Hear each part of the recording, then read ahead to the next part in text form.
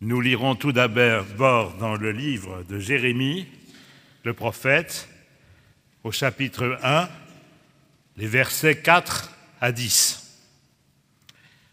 La parole de l'Éternel me fut adressée en ces mots. Avant que je t'eusse formé dans le ventre de ta mère, je te connaissais. Et avant que tu fusses sorti de son sein, je t'avais consacré. Je t'avais établi prophète des nations. Je répondis, Ah, Seigneur éternel, voici, je ne sais point parler, car je suis un enfant. Et l'Éternel me dit, Ne dis pas je suis un enfant, car tu iras vers tous ceux auprès de qui je t'enverrai, et tu diras tout ce que je t'ordonnerai. Ne les crains point, car je suis avec toi pour te délivrer, dit l'Éternel. Puis l'Éternel étendit sa main et toucha ma bouche. Et l'Éternel me dit, Voici, je mets mes paroles dans ta bouche.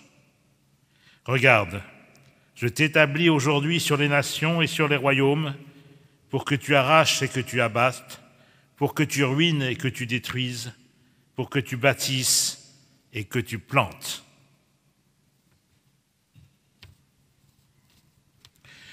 Pour notre seconde lecture, nous prendrons la deuxième épître aux Éphésiens, du chapitre du verset 1 au verset 14.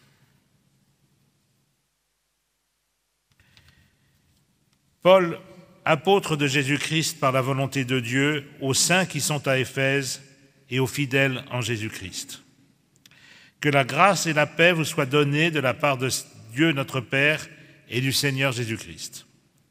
Béni soit Dieu, le Père de notre Seigneur Jésus-Christ, qui nous a bénis de toutes sortes de bénédictions spirituelles dans les lieux célestes en Christ. En lui, Dieu nous a élus avant la fondation du monde pour que nous soyons saints et irrépréhensibles devant lui, nous ayant prédestinés dans son amour à être ses enfants d'adoption par Jésus-Christ, selon le bon plaisir de sa volonté, à la louange de la gloire de sa grâce qui nous a accordée en son bien-aimé.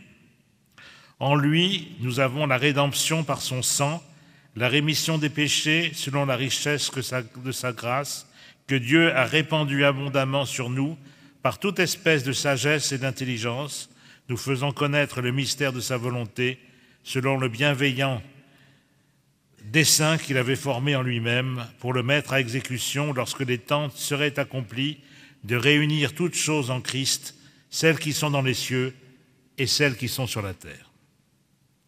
En lui, nous sommes ainsi devenus héritiers, ayant été prédestinés suivant la résolution de celui qui opère toutes choses d'après le conseil de sa volonté, afin que nous servions à la louange de sa gloire, nous qui d'avance avons espéré en Christ.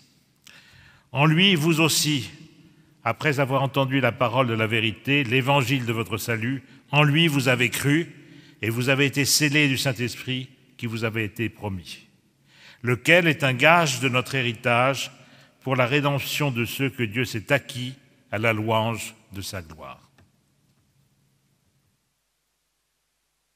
Et enfin, nous prendrons l'évangile de Matthieu au chapitre 2, chapitre 13, euh, versets 13 à 21. Lorsqu'ils furent partis, voici, un ange du Seigneur apparut à Joseph en songe et dit, Lève-toi, prends le petit enfant et sa mère, fuis en Égypte et reste-y jusqu'à ce que je te parle, car Hérode cherchera le petit enfant pour le faire périr. Joseph se leva, prit de nuit le petit enfant et sa mère et se retira en Égypte. Il y resta jusqu'à la mort d'Hérode, afin que s'accomplisse ce que le Seigneur avait annoncé par le prophète, J'ai appelé mon fils hors d'Égypte. Alors Hérode, voyant qu'il avait été joué par les mages, se mit dans une grande colère, et il envoya tuer tous les enfants de deux ans et au-dessous qui étaient à Bethléem et dans tout son territoire, selon la date dont il s'était soigneusement enquis auprès des mages. Alors s'accomplit ce qui avait été annoncé par Jérémie le prophète. On a entendu des cris à Rama, des pleurs et de grandes lamentations. Rachel pleure ses enfants et n'a pas voulu être consolé parce qu'ils ne sont plus. Quand Hérode fut mort, voici, un ange du Seigneur apparut en songe à Joseph en Égypte et dit, Lève-toi, prends le petit enfant et sa mère, et va dans le pays d'Israël, car ceux qui en voulaient à la vie du petit enfant sont morts. Joseph se leva, prit le petit enfant et sa mère, et alla dans le pays d'Israël. Mais ayant appris qu'Archélaüs régnait sur la Judée à la place d'Hérode son père, il craignit de s'y rendre, et divinement averti en songe, il se retira dans le territoire de la Galilée et vint demeurer dans une ville appelée Nazareth, afin que s'accomplisse ce qui avait été annoncé par les prophètes, il sera appelé Nazaréen.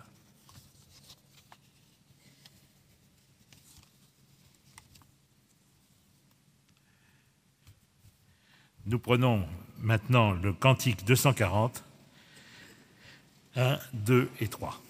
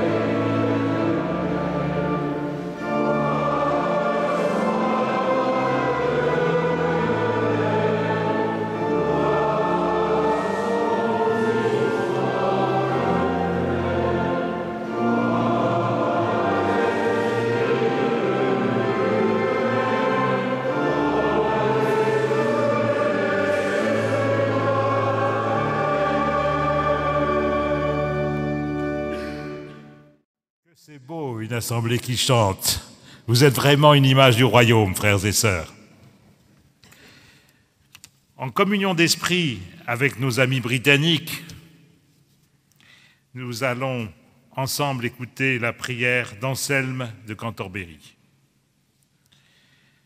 Je cherche ton visage, Seigneur, ne me le cache point. Enseigne-moi au plus profond de mon cœur, où et comment je dois te chercher, où et comment je te trouverai, puisque tu es partout présent, d'où vient que je ne te vois pas. Tu habites, je le sais, une lumière inaccessible. Mais où resplendit-elle cette lumière et comment parvenir jusqu'à elle? Qui me guidera? Qui m'introduira pour que je puisse te voir? Regarde-moi, Seigneur, et exauce-moi. Donne-moi la lumière, montre-toi. Aie pitié de mes efforts pour te trouver, car je ne peux rien sans toi. Tu nous invites à te regarder, aide-moi. Apprends-moi à te chercher, car je ne peux le faire si tu ne me l'apprends pas, ni te trouver si tu ne te montres pas à moi. Fais qu'en t'aimant, je te trouve, et que je t'aime en te trouvant.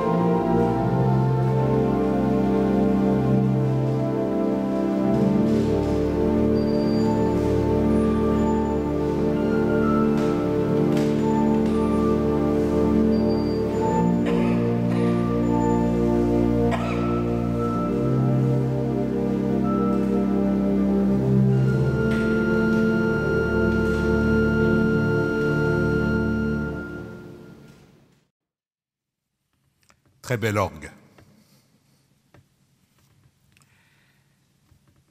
Avant que je t'eusse formé dans le ventre de ta mère, je te connaissais.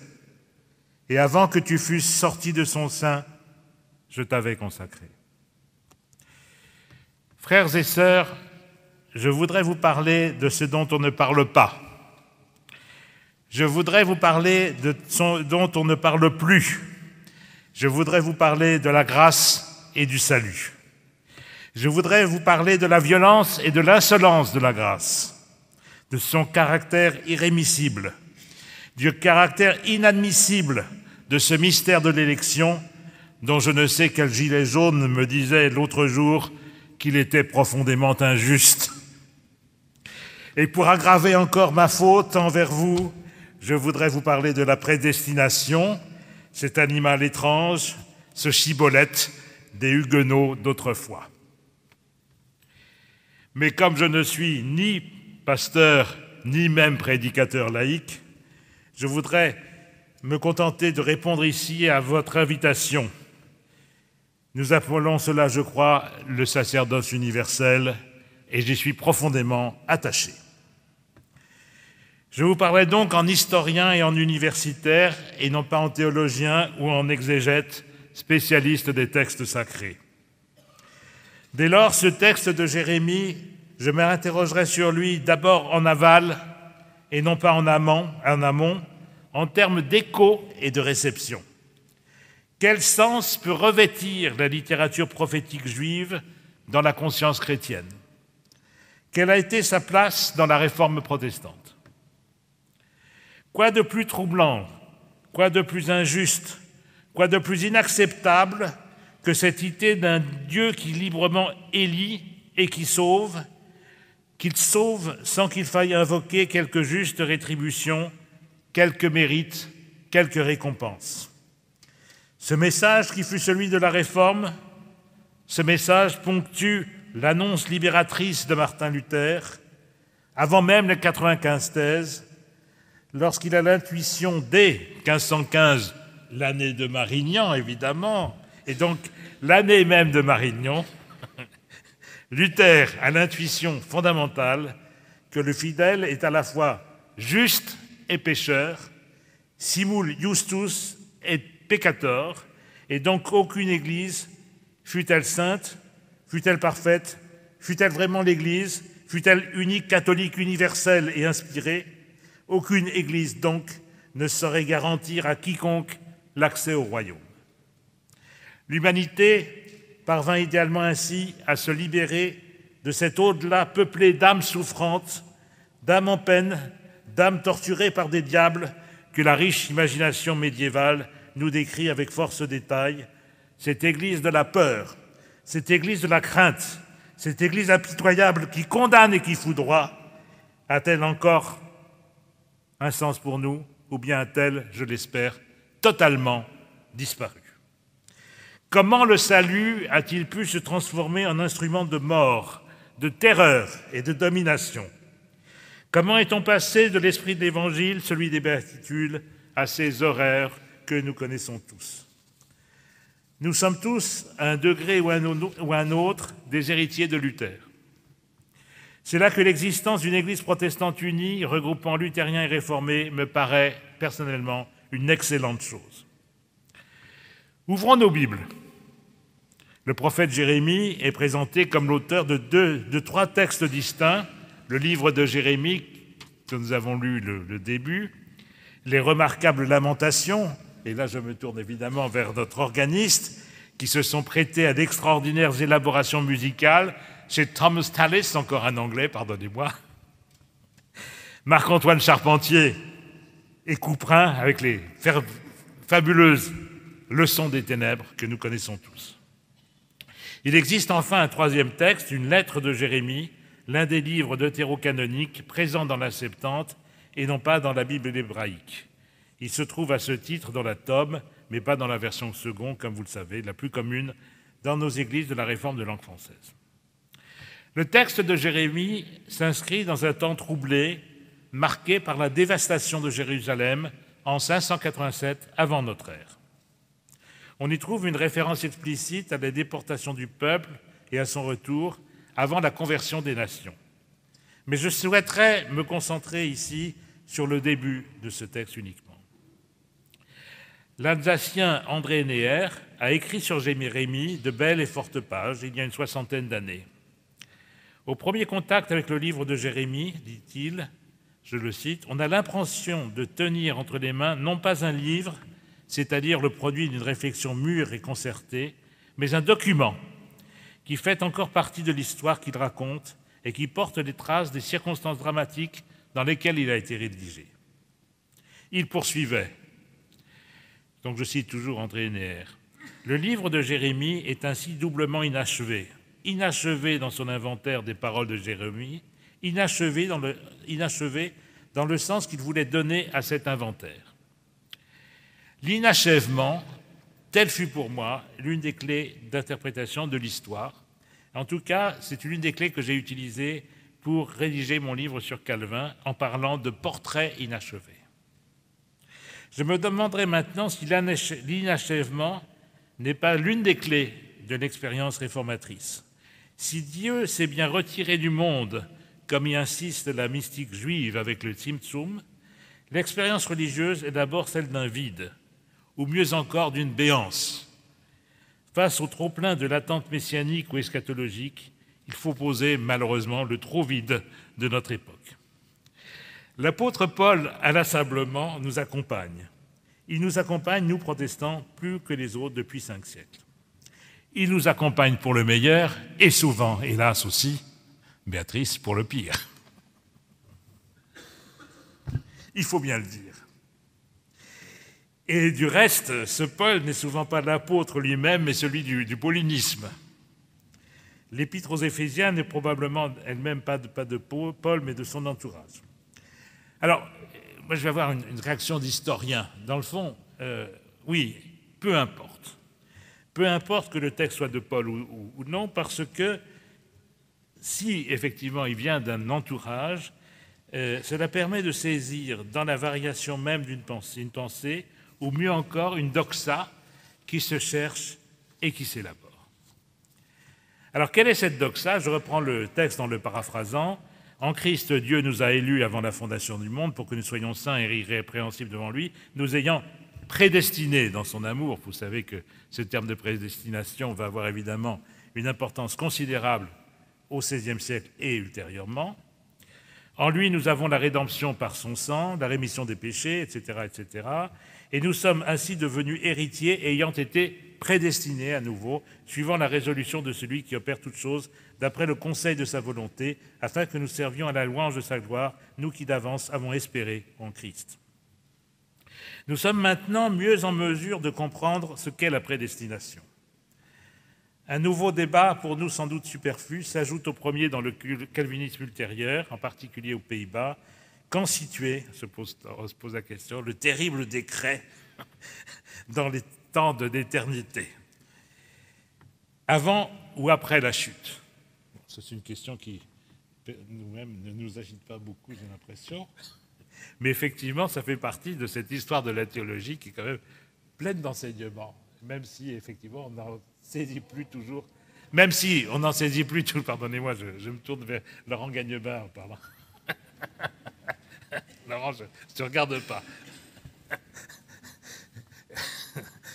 oui, c'est vrai que nous avons, quand nous lisons ces, débats, euh, je pense tous les débats qui ont lieu aux Pays-Bas au XVIIe siècle, je me remets devant le micro, quand nous lisons ces débats, nous avons parfois du mal à, les suivre.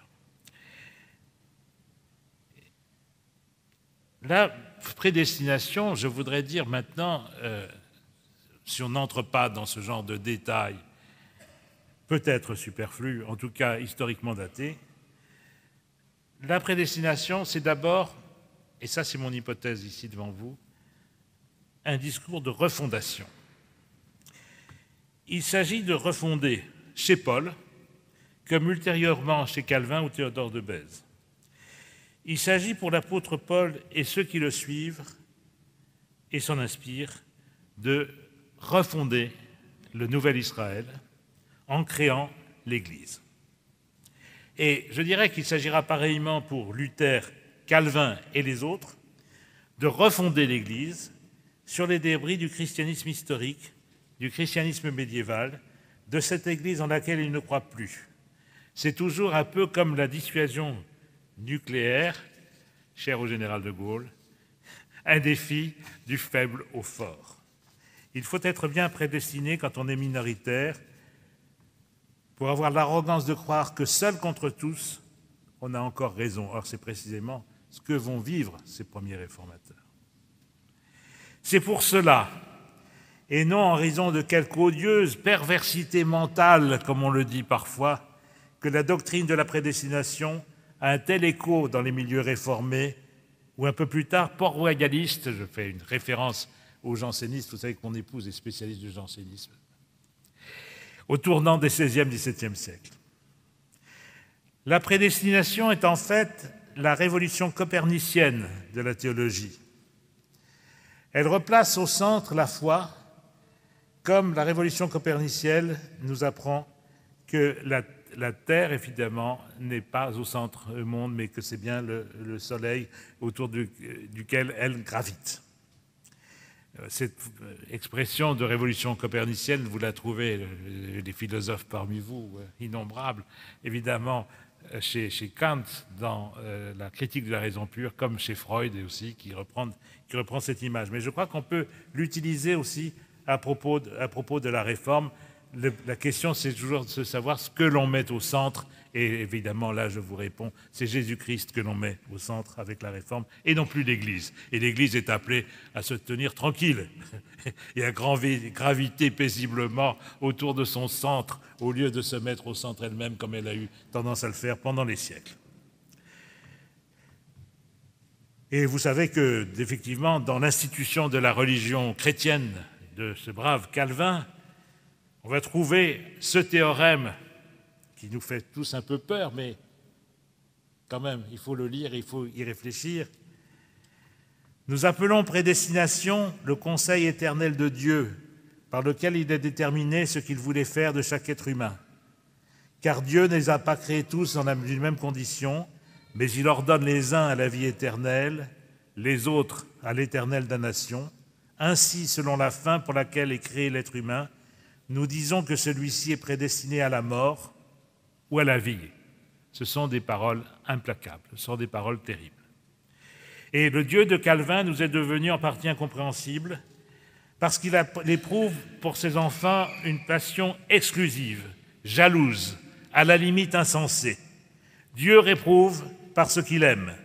Aimerait-il autant s'il ne réprouvait pas? Le sobre Calvin, Calvin le docte, le discret, le vénérable, aurait-il donc été un passionné? La doctrine de la prédestination se prête évidemment à toute une rhétorique baroque. On mentionnera les positions de Théodore de Bèze. Dieu choisit ceux qu'il sauve avant même la chute d'Adam. Ces raisonnements sont devenus incompréhensibles à une majorité d'entre nous. Pourquoi prétendre que les jeux étaient faits de très longue date et que Dieu connaissait d'avance qui serait élu par lui et qui serait rejeté Nous jugerions volontiers, volontiers outrancières ces audaces de théologiens prêts à décrire ce Calvin avant même l'origine du monde. Dieu a mystérieusement décrété que certains hommes seraient sauvés et d'autres promis à la damnation éternelle. Pourtant, il y a là les éléments d'un paradoxe. Effrayante en soi, cette doctrine sans appel se révèle en réalité profondément rassurante pour ceux qui adhèrent au XVIe et au XVIIe siècle. Selon Théodore de Bèze, le fait d'avoir la foi est la marque même de l'élection par Dieu. Croire, c'est déjà être sauvé.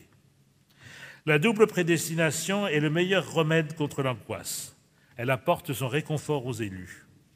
Dans une perspective essentiellement pratique, elle vise à encourager les fidèles à persévérer dans leur foi, à persévérer dans leur résistance.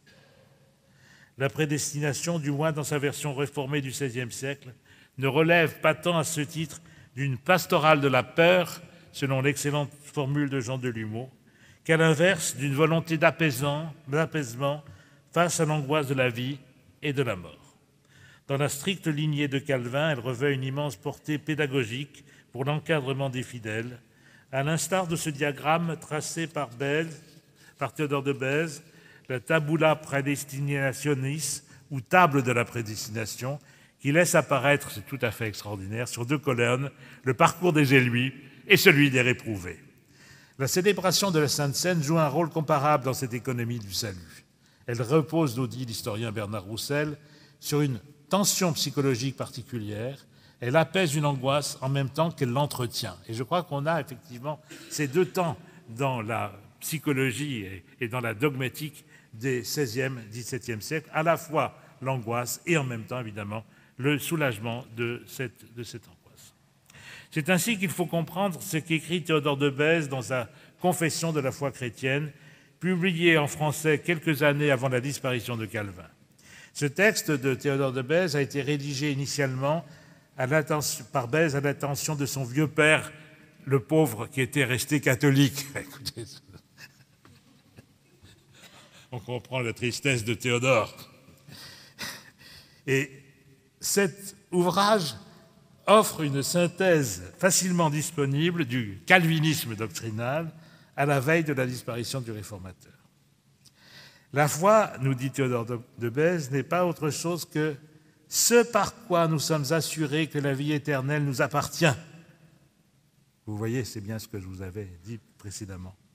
D'autant que devant la fondation du monde, Dieu nous a destinés à posséder par Christ un si grand salut et gloire tant excellente. Et Bèze d'ajouter, tout ce que nous avons dit de la foi et de ses effets serait inutile si nous n'ajoutions ce point de l'élection éternelle comme le seul fondement et appui de toute l'assurance des chrétiens. L'on a considéré à tort que cette doctrine de la prédestination était propre à l'enseignement de Calvin, Théodore de Bèze se contentant de systématiser la doctrine pour lui donner effectivement la forme la plus systématique. En réalité, l'angoisse de la prédestination, beaucoup plus d'ailleurs l'angoisse que le sentiment de réconfort qu'elle peut procurer, l'angoisse de la prédestination est commune à l'ensemble de la civilisation chrétienne au XVIe, XVIIe siècle. Ça, c'est une chose que l'on ne dit pas souvent, mais que moi je tiens à vous dire et que j'ai écrite dans un certain nombre de mes ouvrages, effectivement, la prédestination, ça n'est pas uniquement Calvin, ça n'est pas uniquement le protestantisme non plus, mais la prédestination, vous l'avez éminemment dans l'ensemble du christianisme, y compris chez les catholiques.